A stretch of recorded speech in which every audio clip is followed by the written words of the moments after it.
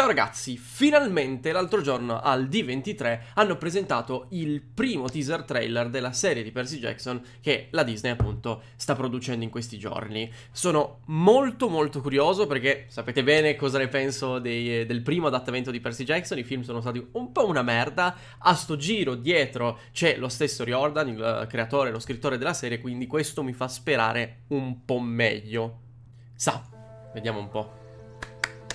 Look, I didn't want to be a half-blood. Uh, il campo mezzo Being sangue. a half-blood is dangerous. Mi piace la sua, la sua voce. It's scary. Immagino che sia the che parla. It gets you killed. If you think you might be one of us, Maglietta! my advice is turn away while you still can. Believe whatever lie your Bellini. about your birth. Try to live a normal Eccolo. Uh, la casa di Poseidone.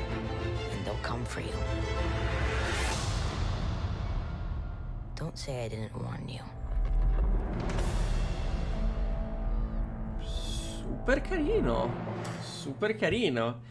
È un teaserino, però devo dire che. hmm, interessante.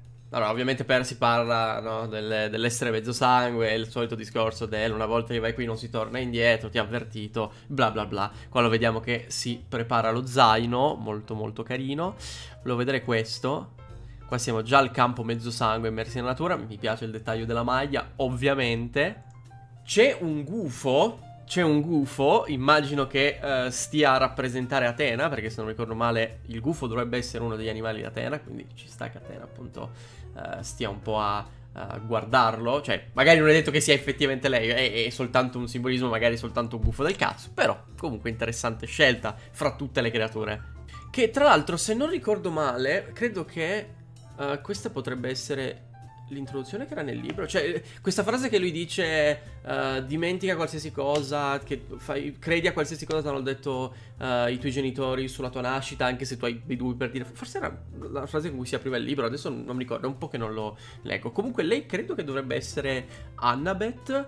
ehm, perché mi, mi sembra che l'attrice fosse lei. Potrebbe essere Clarissa. Oddio, aspetta, devo andare a cercarmi un attimo l'attrice. Ok, no, ho cercato, questa dovrebbe essere Clarisse. Ok, in effetti c'è anche l'armatura un po' di Ares, però beh, mi era venuto il dubbio adesso, non, non mi ricordavo se avevano tutti la stessa armatura o, o erano diverse. Allora, io dico una cosa per il casting di Clarisse che è quello che dissi anche nel film originale. Clarisse veniva descritta in un determinato modo ehm, nel libro eh, e non è, cioè, non è una questione sul colore della pelle, quello non me ne frega, anche, anche Annabeth qui hanno preso un'attrice afroamericana, quello è il meno, chi se ne frega, non, non me ne frega nulla. E, però la questione è che... Però la questione è che Clarisse l'hanno sempre descritta comunque come non di bella presenza perché era eh, questa ragazza appunto anche molto robusta, veniva des- descritta anche un po', un po' bruttina e tutto quanto. Certo, è uno stereotipo della bulla, però, cioè, è è un personaggio, nel senso, io avrei sempre, io, io continuo ad aspettare una, una Clarisse che sia un'effettiva donnona forte ehm, e che poi magari loro possono anche andare appunto a caratterizzare in maniera diversa, non deve per forza essere uno stereotipo negativo. Il fatto che prendano comunque sempre eh, queste attrici eh, mingherline di, di bella presenza, mm, a me fa un po' storcere il naso e l'aveva fatto anche nella- nel, nel primo adattamento. Poi io magari l'attrice è bravissima e tutto quanto, questo non lo metto in dubbio, diciamo che avrei preferito un aspetto leggermente diverso. Questo design mi piace perché è molto semplice ma realistico. Loro sono lì con i loro jeans, le loro magliette, ma hanno anche l'armatura per le loro esercitazioni. Funziona, funziona alla perfezione, questa cosa mi piace molto.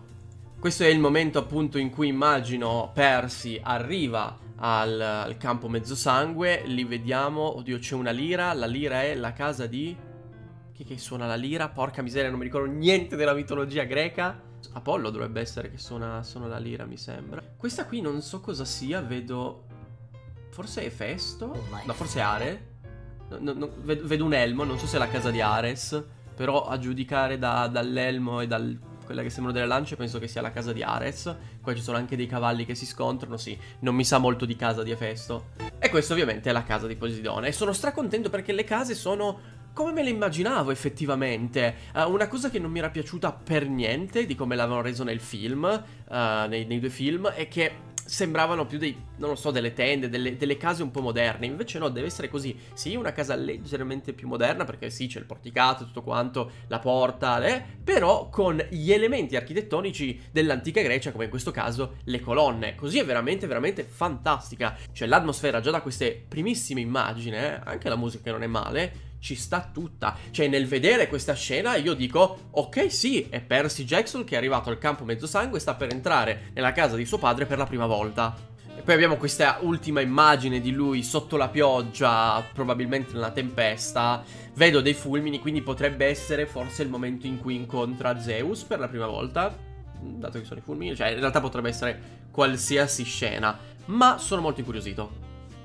Però per me la cosa più importante di tutto, il cambiamento più importante rispetto ai film vecchi è che qui Percy ha l'età giusta. Qui è un dodicenne, o comunque uno che ci assomiglia a un dodicenne. Logan Lerman, per tutto quanto quello che si può dire, per me non è stato un buon Percy, uh, perché era già troppo avanti con l'età, era un Percy già fin troppo adolescente, era un più un Percy che assomigliava a quello degli ultimi libri più che del primo. Mentre invece qua possiamo vedere uh, gli attori crescere, cosa stra importante, perché è una cosa che abbiamo visto di continuo. Veder crescere gli attori e veder crescere i personaggi aiuta notevolmente ad affezionarti a quest'ultimi. Guarda quello che è successo con Harry Potter, guarda quello che è successo con Stranger Things. Ed è palese che loro vogliano spingere in quella direzione. Disney assolutamente vuole che questa sia la sua serie per ragazzi per fare concorrenza a quelle delle altre major. E secondo me possono tranquillamente riuscirci se non si perdono per strada.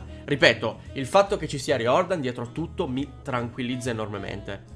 I film sono sempre difficili da adattare, Percy Jackson è uscito in un periodo in cui anche cioè, gli adattamenti dei film tratti dai libri per ragazzi non erano sempre il massimo, a volte uscivano delle ciofeche assurde perché tutti provavano a essere il nuovo Harry Potter e cambiare un po' la formula. Il fatto che qui abbiano una serie che, si, che andrà divisa in più stagioni, che hanno tutto il tempo necessario per raccontarti tutte le vicende e anche di più, perché comunque i libri di Percy Jackson non sono lunghi a, a livello proprio di, di, parole, a livello proprio di battute e di vicende, sono relativamente corti. Non so come sarà adesso se ogni stagione sarà un libro o sarà diviso diversamente, uh, però sicuramente andranno ad aggiungere cose extra, anche a inventarsi certe cose e va benissimo così perché potremmo espandere uh, ed esplorare l'universo di Percy Jackson, il Riodanverse come viene chiamato, probabilmente anche andando a prendere da altri libri altre cose dato che Riordan ha espanso tantissimo la mitologia. Io ho letto solo i 5 libri principali di Percy Jackson, non ho letto il resto, però potrebbe essere la volta buona che mi butto anche uh, sulle sfide di Apollo, no? Che caspita si chiamava?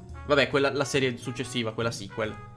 Per ora ragazzi devo dire che sono super super soddisfatto, aspettiamo il trailer completo, ma per adesso quello che ho visto mi ha tranquillizzato tantissimo, quindi c'è un discreto hype. Ditemi anche voi cosa ne pensate nei commenti, ditemi se ho azzeccato le chiase, ma penso proprio di non averle azzeccate. E per il resto noi ci vediamo nel prossimo video. Ciao a tutti ragazzi.